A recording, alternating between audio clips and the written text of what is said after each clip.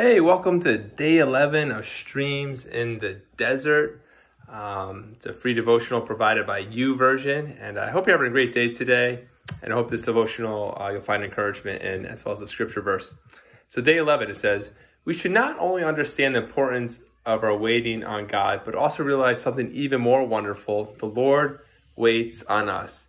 And the very thought of this waiting on us will give us renewed motivation and inspiration to wait for Him. Isaiah 30, 18. It will also provide inexpressible confidence that our waiting will never be in vain. Therefore, in the spirit of waiting on God, let us seek to discover exactly what it means right now. The Lord has an inconceivably glorious purpose for each of His children. And I just want to take a moment, and that's you watching this right now. Uh, if you know Christ, uh, He's got a plan for you and wants to invite you into it. If this is true, you ask, why is it that He continues to wait longer and longer to offer His grace and to provide the help I seek?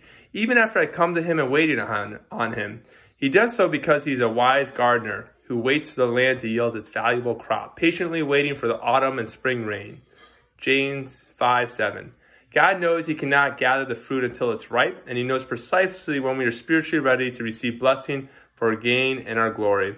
And waiting in the sunshine of his love is what will ripen our soul for his blessings. Also, waiting under the clouds of trials is an important is as important, for they will ultimately produce showers of blessing. Rest assured that if God waits longer than we desire, it is simply to make the blessings doubly precious. Remember, he waited for thousands of years, but when the time had fully come, God sent his son, Galatians 4 4. Our time is in his hands, and he will quickly avenge those he has chosen, swiftly coming to our support without ever delaying even one hour too long. And that's Andrew Murray, this devotional provider. And the verse for today is Isaiah 30, 18.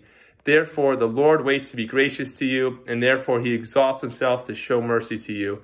For the Lord is a God of justice. Blessed are those who wait for him. So I hope you've been encouraged today. Uh, if you find it encouraging, feel free to share it with someone else. And uh, just want to make mention that uh, on this Sunday we'll be having a church online service at 10:30. If you've not checked it out, uh, you should come check it out. 10:30. It's uh, it's a lot of fun. It's a great place to learn more about Jesus, get to praise His name. Uh, we have a special children's message uh, provided by Karen this Sunday, and uh, and I'll be excited to share a little bit more about Palm Sunday and how we can we can uh, just join in with praising with all creation. So. Uh, looking forward to connecting with you tomorrow, and I'll talk to you then. All right. God bless.